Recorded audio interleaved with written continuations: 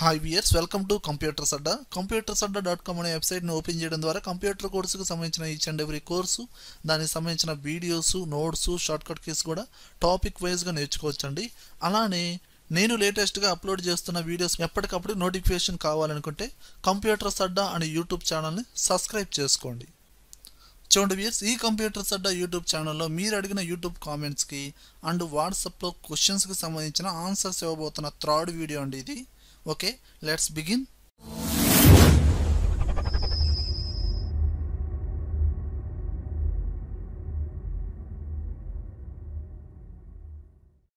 చూడండి వ్యూర్స్ వాట్సాప్లో కూడా నన్ను చాలామంది డౌట్స్ అడిగారండి. అందులో నాకు తెలిసినంత వరకు చెప్పడం జరుగుతుంది.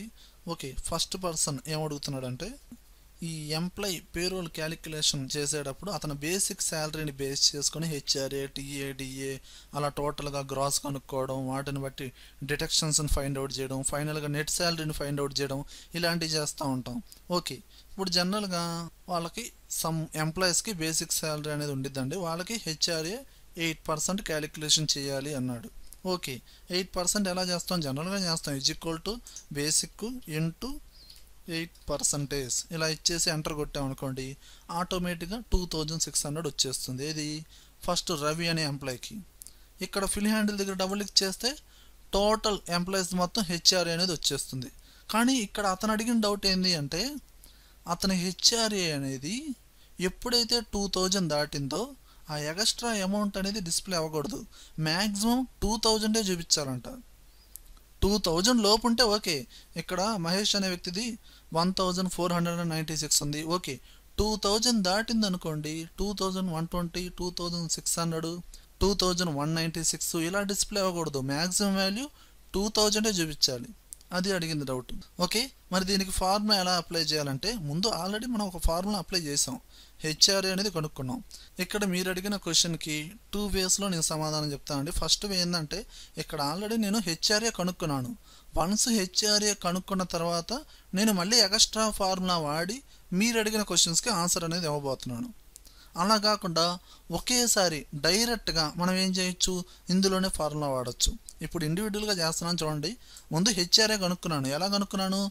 Is equal to basic into eight percentage okay ఇక్కడ మనం ఫార్ములా అప్లై చేద్దామండి. దానికన్నా ముందు ఏం చేద్దామంటే ఈ కాలం విర్త్ ఫార్ములా కొంచెం లెంతీగా ఉండేది కాబట్టి ఈ కాలం విర్త్ అనేది ఇంక్రీజ్ చేయండి. ఓకే ఇక్కడ నేను ఫార్ములా ఎలా వాడుతానంటే is equal to if open braces లేదా కీబోర్డ్లో ట్యాబ్ అయినా ప్రెస్ చేయండి. ఓకే ఇప్పుడు హెచ్ఆర్ఏ వాల్యూ సెలక్షన్ చేయండి.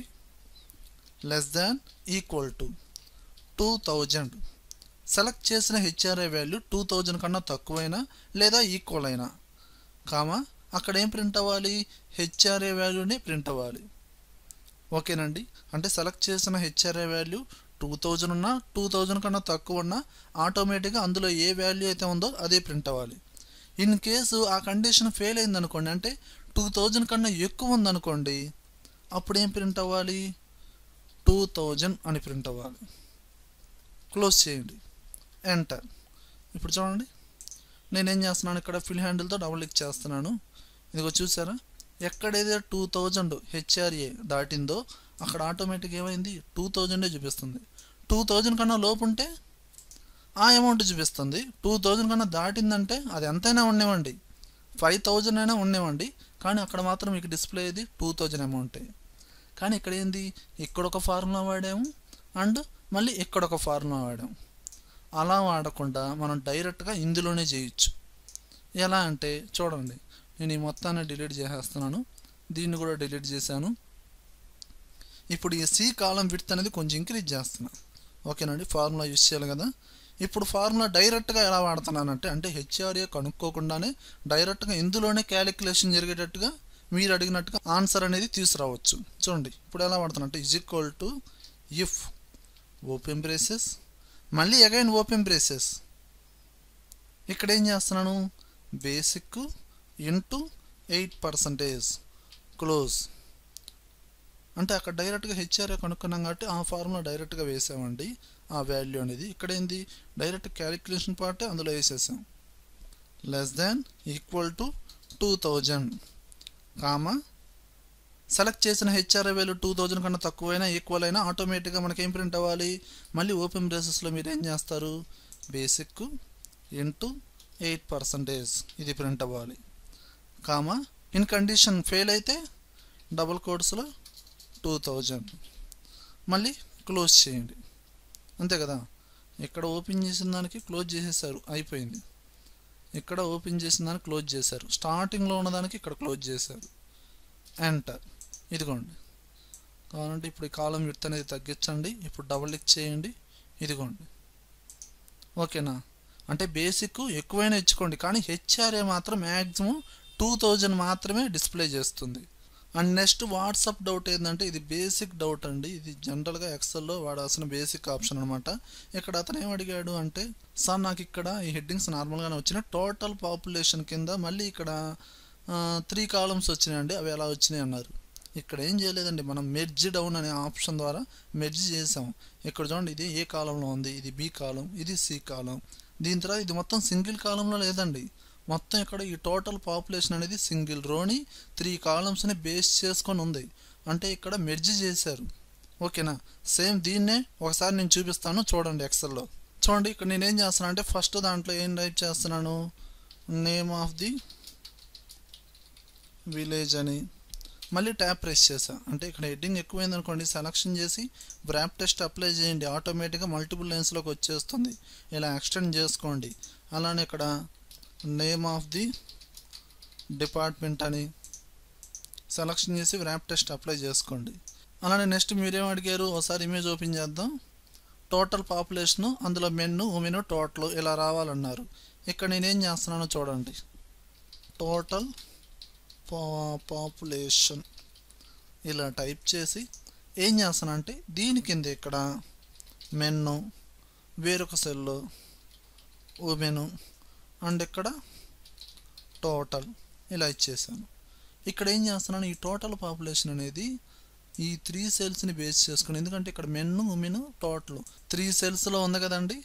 సో ఈ పైన ఈ మొత్తం కలిపి మెయిన్ హెడ్డింగ్గా రావాలి కాబట్టి ఈ త్రీ సెల్స్ని సెలక్షన్ చేసి హోమ్ ట్యాబ్లో మెర్జ్ అండ్ సెంటర్ అనే ఆప్షన్ ఉంటుంది దీన్ని ప్రెస్ చేయండి. ఓకే? ఈ విధంగా. చూడండి. ఇప్పుడు ఇక్కడ ఏం చేసాము? ఈ మొత్తాన్ని కలిపి మీరు కావాలంటే బోర్డర్స్ అప్లై చేసుకోండి. ఇక్కడ ఏం చేస్తారు? ఎక్స్ట్రాగా మిగిలిపోయింది కదా? ఈ హెడ్డింగ్. ఈ టూ సెల్స్ని సెలక్షన్ చేసి మెర్జ్ చేయడం. ఈ టూ సెల్స్ని సెలక్షన్ చేసి మెర్జ్ చేయడం. టోటల్గా సెలక్షన్ చేసి మిడిల్ సెంటర్లో పెట్టుకోవడం. ఇలా చేసాం. ఓకేనండి. ఇక వచ్చిందా లేదా? అలా ఇక్కడ ఏం చేసామంటే మీరు ఇచ్చిన ఇమేజ్లో టోటల్గా ఇలానే చేశారు. అంటే ఇక్కడ త్రీ కాలమ్స్ని ఇక్కడ త్రీ కాలమ్స్ని బేస్ చేసుకుని మెర్జ్ చేసుకుంటూ ఈ విధంగా డ్రా చేశారు. ఓకేనండి. బేసిక్గా ఇలా చెప్తే మీకు అర్థమైనట్టే కదా? అలా ఇక్కడ సేమ్ యాస్టేజ్గా ఈ డేటా మొత్తాన్ని కాపీ చేసి మళ్ళీ ఈ త్రీ సెల్స్లో పేస్ట్ చేయడం ఓకే? దాని తర్వాత ఈ త్రీ సెల్స్ని సెలక్షన్ చేసి మెర్జ్ చేయడం ఇక్కడ సమ్ డేటా అనేది టైప్ చేసుకోవడం. ఇలా. ఓకేనండి? దీన్ని మిడిల్ సెంటర్లో ఇలా సెట్ చేసుకోవడం. ఓకేనండి? అవసరమైనప్పుడు బోర్డర్స్ అనేది అప్లై చేసుకోవడం. ఇది ఒక బేసిక్ ఆప్షన్. అండ్ నెక్స్ట్ ఇప్పుడు మన యూట్యూబ్ కామెంట్స్ గురించి చూద్దామండి. ఫస్ట్ కామెంట్ యూట్యూబ్ కామెంట్ వచ్చి హేమకృష్ణ గారు అడుగుతున్నారు.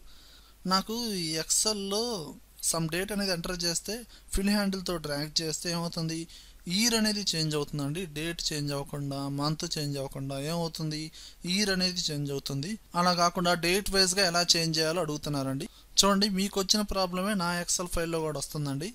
నా ఎక్సెల్ ఫైల్ ఓపెన్ చేద్దాం.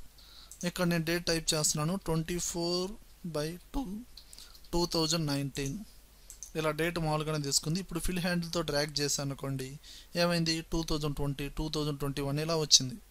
కానీ అలా కాకుండా మనకి డేట్ ఒకటే చేంజ్ అవ్వాలి అనుకుంటే అప్పుడు మీ సిస్టంలో సమ్ సెట్టింగ్ అనేది మార్చాలి. ఎక్సెల్లో కాదండి. టోటల్ సిస్టమ్స్లోనే మనకి కంట్రోల్ ప్యానల్లో సమ్ సెట్టింగ్ ఉండిద్ది. అది మార్చాలి. ఇప్పుడు మీరు కనుక మీ ఓఎస్ విండోస్ సెవెన్ కానీ ఎక్స్పీ కానీ వాడుతున్నారు అనుకోండి స్టార్ట్ బటన్లోకి వెళ్ళండి.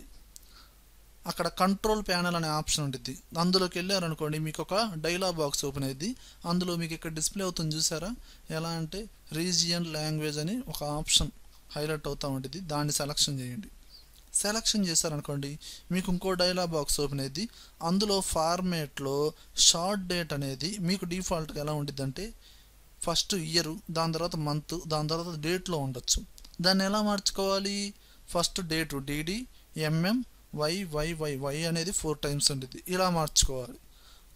వన్స్ అక్కడ మార్చామనుకోండి ఆటోమేటిక్గా ఎక్సెల్లో డేట్ ఒక్కటే చేంజ్ అయ్యిద్ది ఓకేనా? ఇప్పుడు నాకు కూడా సమ్ సెట్టింగ్ అనేది అలా మార్చడం ద్వారానే ఇలా వస్తుంది. అదే మనం విండోస్ ఎయిట్ కానీ టెన్ కానీ వాడుతున్నాను అనుకోండి మీరు డైరెక్ట్గా ఇక్కడ సెర్చ్ బాక్స్ ఉండిద్ది. స్టార్ట్ బటన్లో కూడా వెళ్ళాల్సిన అవసరం లేదు. డేట్ ఫార్మేట్ ఇదిగోండి change the date and time format ఈ ఆప్షన్ని సెలెక్షన్ చేయండి. ఇక్కడ మీకు డైరెక్ట్గా ఇది చూడండి షార్ట్ డేట్ అనేది నాకు ఏ సెలక్షన్లో ఉంది? ఫస్ట్ ఇయర్ మంత్ డేట్ ఇలా ఉంది. దీన్ని తీసేసి ఇలా ఇస్తున్నాను. ఓకేనండి? ఇప్పుడు దీన్ని క్లోజ్ చేస్తున్నాను. ఇప్పుడు చూడండి టైప్ చేస్తున్నాను. Twenty four four two thousand nineteen.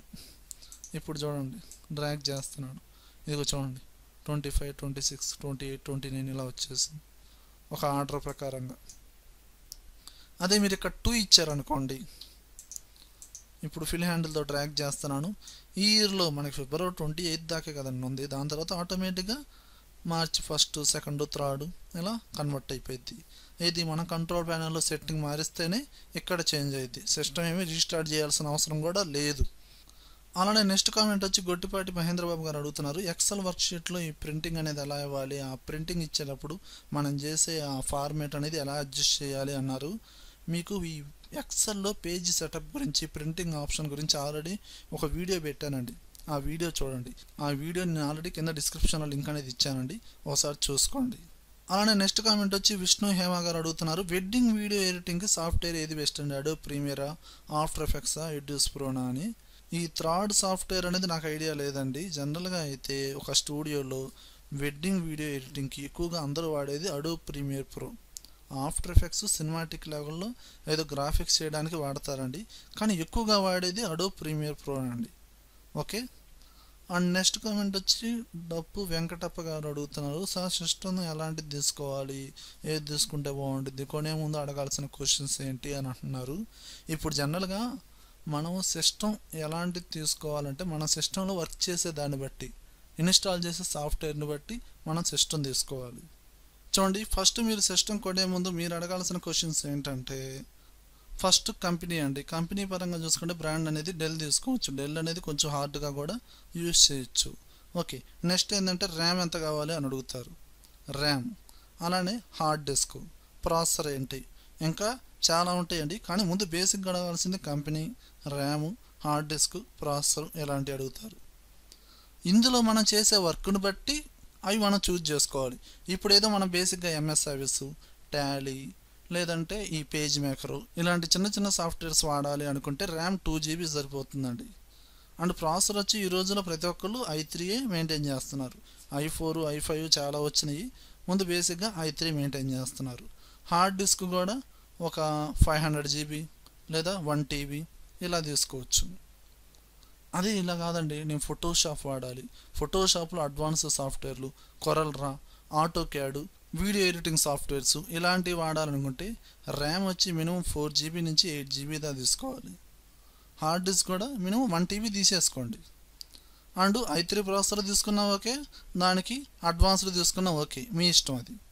ఓకేనా? కానీ డిజైనింగ్ సాఫ్ట్వేర్స్ మీరు ఇన్స్టాల్ చేయాలి అని అనుకుంటే మాత్రం మినిమం ర్యామ్ అనేది ఫోర్ జీబీ మెయింటైన్ చేయండి. స్టూడియో లెవెల్లో మెయింటైన్ చేయాలంటే మీరు ఎయిట్ జీబీ తీసుకున్న తక్కువే ర్యామ్ అనేది.